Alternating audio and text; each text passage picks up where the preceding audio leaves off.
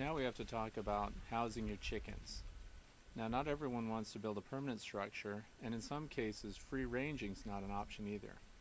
You may live on a smaller plot and you may have neighbors nearby that wouldn't appreciate chickens rooting through their gardens and scratching up their plants. One of the solutions for something like that is to build a portable chicken coop. This portable coop has an open floor and allows you to move the chickens to specific areas. It's complete with a nesting box and a place for the chickens to sleep at night. So let's go over some of the features of a portable coop. Keep in mind there's an infinite number of varieties that um, are available. You can buy them prefabricated through mail order or you can design and build your own like this one here was just of my own design and it's heavy enough to withstand heavy winds but light enough that you can actually move it around. Children, of course, wouldn't be able to move it by themselves, but a single adult could feasibly do it. When it comes to building your own portable chicken coop, try not to get too fancy. Keep it basic and keep it fairly lightweight. If you get carried away and build too many amenities onto the coop, you'll end up with something so heavy that you just can't move it around.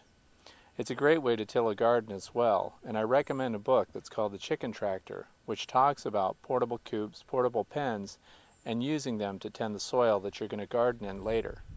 Let's go over some of the features of this portable coop. Remember when you're designing your portable coop or even a permanent coop, make the dimensions suitable for an adult to access everything that you're going to have to do in the coop. If you make it too small, you'll be bent over all the time and you'll have to carry maybe a 50 pound bag of feed in to fill feeders and you'll also be hauling water in and out. So consider that when you're thinking about the dimensions of your coop. This particular one is 6 feet tall, it's 7 feet long, and it's only 3 feet wide. I limited the width of the coop to 3 feet because the extensions of these middle bars are actually the handles that we use to lift it and roll it to a new location after every few days. The door is an easy screen door. You just turn the wood, pull it open, and then let's go over some of the features inside.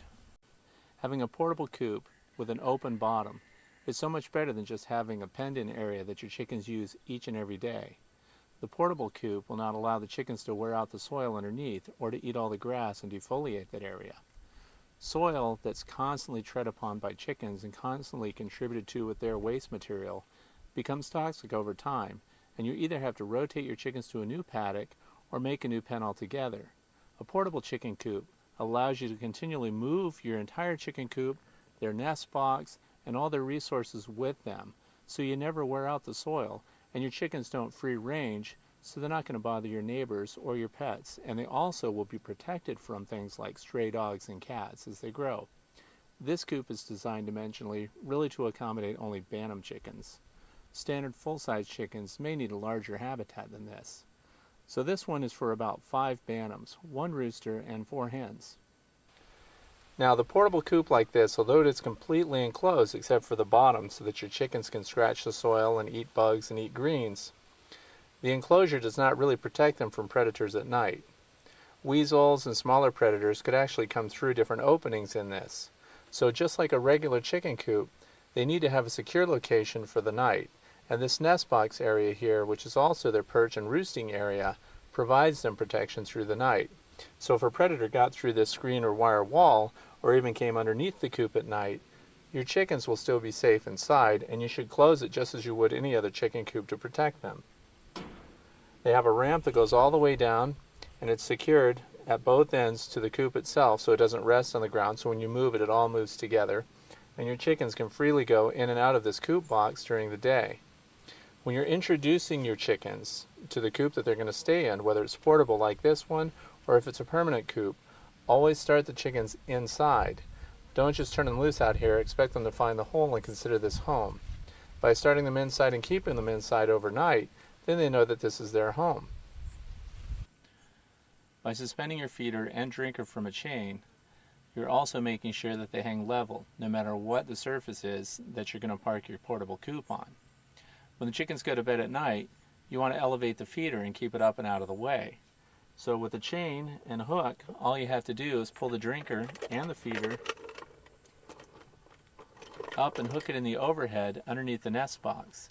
This way it's out of the way of predators, mice, and other things that will run around at night, and try to take advantage of the feed that your chickens have and that they may spill on the ground. It's smart each day or every couple of days to move the portable coop to brand new soil so things don't have a chance to get rancid. As you can see the side on this portable coop is hinged so that it can be swung open and you'll have access as a coop tender to the inside of this nesting box which is also where the chickens roost at night. Now when you're having a, a box like this, you need to think about it in terms of how are you going to clean it later. So make sure that perches, and in this case the perches are just set in place, make sure that they're removable so that you can clean out the substrate here. I like to litter raise my chickens so there is no droppings pit. We just put wood shavings in and let it stay there until it mixes up with the chicken waste. Then of course we put that in the garden. So you can see also that there's a nest box inside, and this is sized for a bantam. This next box is 12 inches by 12 inches by 14 inches high. And it has a slanted roof, so you could also take it out, put it on the grass, and leave it outside if the weather's warm. And this is the inside view showing the pop hole for the chicken. Now let's say you want to provide some additional perches inside your portable coop during the day, and you want to make it easy to pull them out when you're going to service the coop. All you have to do is take pieces of 1 by 2 wood, round off the top so that it's nice for perching on for the bird's feet. And because it's also 1 by 2 cage wire here, we just slide it through the openings. And because this coop is 3 feet wide, we only have to make the perches 4 feet wide. Bits of the perch stick out on either side, and then you just take a regular spike that you can get at the hardware store and slide it through a hole that you drill and that will keep it from pulling through and falling down on the birds when they're inside. Then when you need to service the coop, you just pull the spikes out, which are all the perch, and now you have free access, plus you can clean and sanitize these perches when you're doing the rest of the coop. And when the removable perches are not being used, I simply store them in the overhead on the coop itself, and that keeps them with me anytime I want to change them and move them back down. I just pull them out, drop the spikes in, and set them at whatever height I feel is necessary for the birds that are staying in the coop. Now these wheels are located at just one end of the coop, so we lift the whole thing up and move it like a wheelbarrow. My personal preference is not to use pneumatic or air-filled tires, but rather use the solid rubber tires. Inevitably, when you go to use air-filled tires, one will be flat, and then you've got a problem. So these are solid rubber tires, and they're just run through 2x4s that extend the entire length of the chicken coop. The 2x4s again are 8 feet long at the bottom, but the coop itself is only 7 feet long, 3 feet wide, and 6 feet tall. The chicken access ramp to the door is secured with nails and glue at the top, and then we follow it all the way down. It goes to the lead board, which is also the bottom of the doorway that people walk through so no part of it rests on the ground. And this is how the portable coop looks from the end where the wheels are located. You can see that we have a window at the top of this 3 foot by 3 foot by 3 foot box. And also you can see how the roof looks. It's 3 8 inch thick material and it's arched 4 feet by 8 feet long and it just covers the coop from one end to the other and the rest is 2 by 4 material and then 1 by 10s at each end which gives it some kind of structural support. The entire thing is finished with exterior wood stain. Before we talk about the design elements of a chicken coop, let's talk about where you're going to locate it. Putting a chicken coop, for example, right next to the woods or in a heavily wooded or treed area like this is pretty much a bad idea. So if you had the option of putting it out in the open, I recommend that. Predators inhabit the woods and hunt the perimeter of the woods frequently. So if you put a chicken coop there, you're actually ringing the dinner bell for wildlife.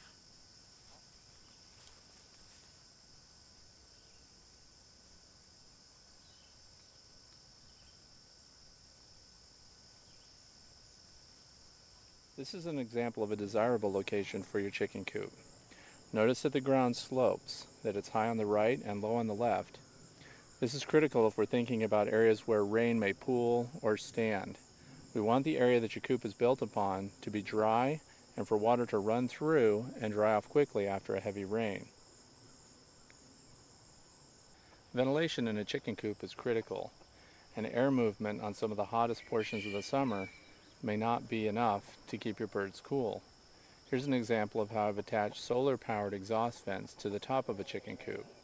You want to ventilate the coop, but you want to keep it draft-free. Heavy drafts in a coop during winter would be a huge detriment to your birds. One of the first considerations when you're thinking about building your own chicken coop is the physical size. This coop we're looking at now is 8 feet by 8 feet, which provides 64 square feet of floor space for the chickens. The general rule of thumb is that you need 4 square feet per bird. So this coop suitable for 16 full-grown standard chickens. Even though it's a free range situation which may allow some people to have more birds in a smaller habitat, I have to consider the winter weather and the fact that these birds will be inside for large sections of the year. So when you're planning the size of your coop, make sure you understand how many hens or roosters you're going to be keeping in the future and make it large enough to accommodate them comfortably. When birds are concentrated in great numbers in a small space, they suffer stress, they may get sick early, and may even attack one another and pull each other's feathers out. That's something we want to avoid. You also may notice that each of my chicken coops are elevated well off the ground. This prevents mice and other vermin from taking up residence underneath the coops. It also provides a place for the chickens to dash under if there were a hawk, for example, or a sudden rainstorm. In the middle of the summer, they can also find shade underneath. Keep in mind that you need to be able to reach under there and possibly retrieve a dead bird or a sick bird. Notice also that there's a concrete pad in front of the doorway. Places that you're going to step often will become a muddy mess, for example, in the spring. So take into consideration the weather conditions in your area, and high traffic areas should have some protection, otherwise you'll just have a big muddy mess. One of the reasons that you have a chicken coop is to provide physical security.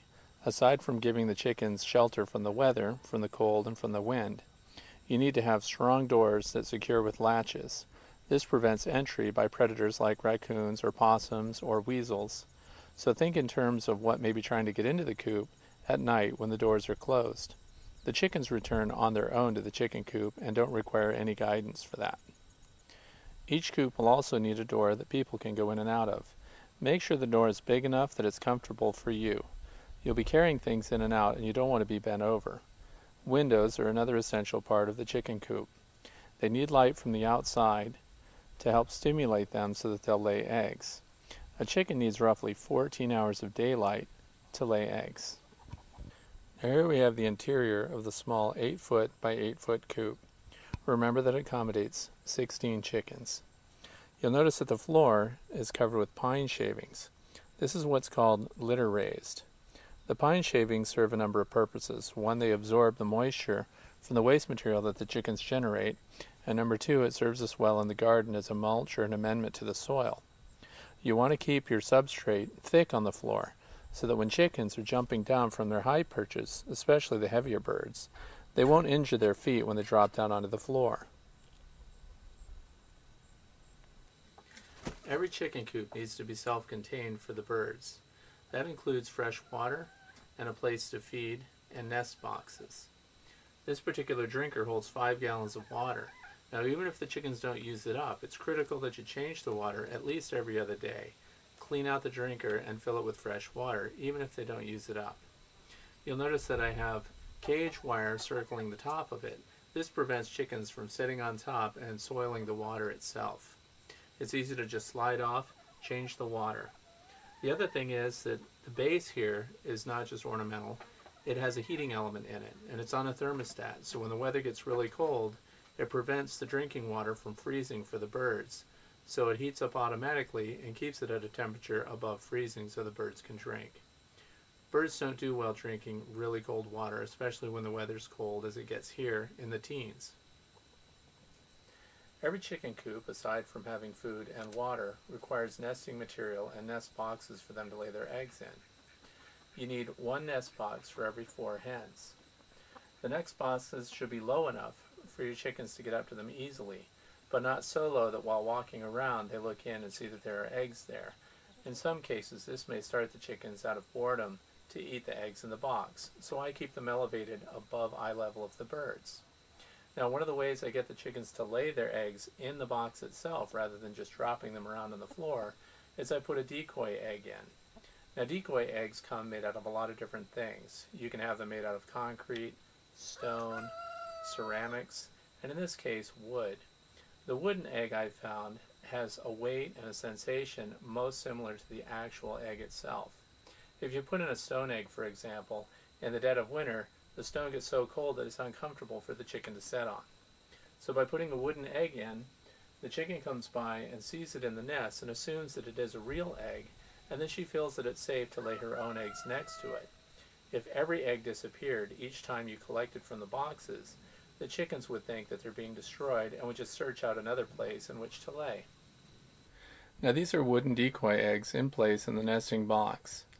Remember it's important that you put something like diatomaceous earth in with the litter in the box to protect your chickens from parasites while they sit.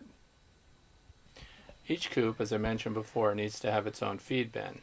This large metal bin, for example, will hold 100 pounds of feed. I usually only pour in 50 pounds at a time, and the trough is wide enough to allow several chickens to eat together. If you make a small eating area, then some of the larger or more dominant chickens can actually keep others off the feed. Now this coop is much larger. It's 8 feet by 16 feet, and therefore it can hold 32 chickens. Now, again, it has a latching door. It has windows that open so that we can have ventilation on a hot day, and it has a door suitable for people at one end. It's also elevated off the ground, as I said before, to prevent vermin from setting up housekeeping and also to allow chickens some safe haven during the day. Now one of the traits that I'd like you to notice about this particular coop, it's nice and long and notice that we've put the hen access door or the pop hole at this end of the coop and we've put the nest boxes at the far end. That's intentional.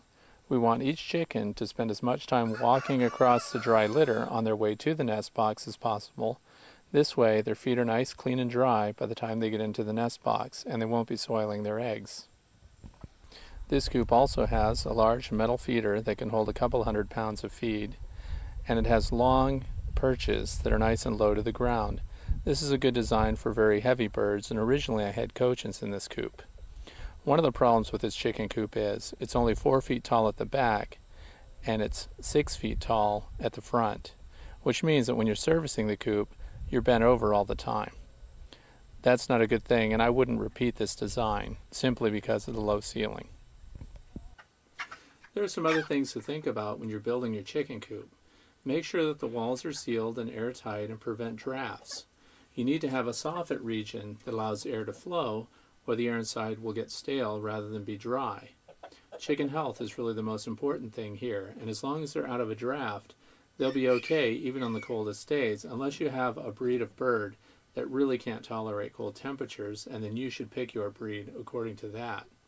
I don't put double walls up in my coops. I leave them open and just the exterior sheathing is here because I find that having a double wall just provides an area for mice and other vermin to build nests and I wouldn't even know about it because those would become inaccessible areas.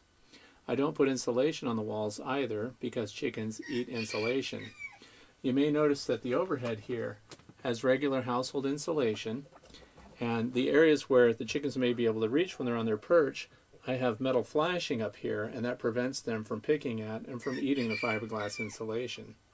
So by insulating the ceiling, we cut down on some of the noise that comes from the coop as well, and it insulates them from the high heat in the summer, and then again from the cold in the winter that's generated through the roof. Another thing I'd like you to notice is that I've put in lights in my chicken coops. There are two sources of lighting here as all my chickens are wired with electricity. One is a light that's on a timer and it's fluorescent. It's a fluorescent light that's designed to be outside. Some fluorescent bulbs won't even activate if it's below freezing. Being on the timer allows me to make sure that these lights come on and give my chickens 14 hours of daylight a day. If you want your chickens to lay eggs throughout the year, you're going to have to have lights on a timer because as the days shorten, it's natural for the chicken to go off laying and do nothing basically as far as egg production goes throughout the year and they'll be eating your feed and producing nothing in return. So by putting artificial lighting in the coop, and the bulb doesn't have to be bright, this particular one only uses 15 watts, and as a fluorescent it generates much more light than a normal 15 watt incandescent bulb would. This keeps the birds on a stable cycle of light and dark, and I'm assured that I'll get eggs throughout the year. Another thing I'd like to point out about a chicken coop feature is that you need to have a pop hole for your hen door that can latch well.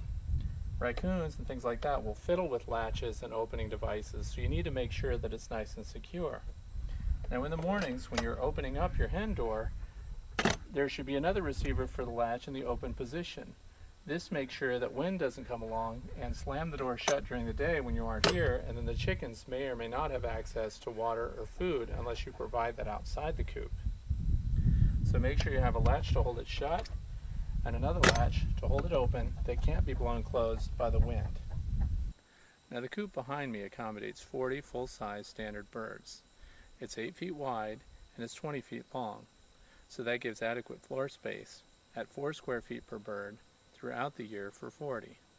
Again, even though they're free range, we want to make sure and provide plenty of adequate space inside, which reduces stress on the birds. Now you notice that I have a little variation on this particular hen door and how it gets locked open. All I do is drop a spike through the rain shield here. Once the door is in the open position, you drop it down and it keeps the wind from blowing it shut during the day. So really it can be as basic as you want it to be, so long as it serves the same purpose. And we have another locking device here that latches, and if I want to give it extra security, I just slide a nail through here. You can even put a padlock on latches like this if you feel that's necessary. Now notice on the ramps you have a lot of different options also. The only thing you have to do is provide something secure enough that the chickens can go up and down the ramp without sliding or hurting themselves. In this case, all I've done is cut up sections of an old garden hose and screwed them with stainless steel screws to a wooden plank. And this is the best one that I have as far as the chickens go, and it works out very well. Now when it comes to the interior finishing of your chicken coops, remember it's all for the birds. So anything that you can put in here that makes it more interesting or entertaining for them, I recommend that you do it. Keep things off the floor as much as possible so you have access when it comes time to clean. You can see that I have a 12 foot long maple branch here suspended from the ceiling. The chickens like to perch on this, and I like to think that it gives some of the same motion that a tree branch in the wind would give. The birds all line up on it, and as another one jumps, then it moves it again, and they all end up swinging and holding their balance. I think it provides interesting exercise, and the chickens seem to really enjoy it. I recommend that you set up a number of perches at various heights throughout the coop so that the birds can pick their own comfort zone. Some of my chickens like to jump and sit right in the windows. Others fly all the way to the top, which is 8 feet, and they nest in the rafters at night. Remember that this coop has a capacity for 40 birds, so it has 10 nest boxes, one for every four hens. And the nest boxes are high enough off the ground again, remember to keep them out of normal line of sight of the birds just roaming through the coop, but yet not so high that the birds can't easily fly to the lower perches and then up to the next one so that they can access the box that they want. Each hen you'll find out picks a favorite box and they use it over and over. Now if you're going to store feed inside your chicken coop, and I do because I don't like to haul 50 pound bags every day, if you're going to store it inside the coop, make sure you use a metal bin, not plastic and not wood. If rodents were to gain access to your coop, they could easily chew through a plastic bin. Now another thing you may consider having inside the coop is a caged area that's mounted to the wall that's off the floor so it's not occupying valuable floor space in the coop. But where you could take a bird that was injured, for example, and keeping it in the company of the other chickens in line of sight, you could still set it aside in a cage like this and protect it from the other birds. And it's a convenient place because it's out of the weather and you can provide separate food and water. In this case right now I have guinea keets in here as we raise lavender and pearl guineas as well.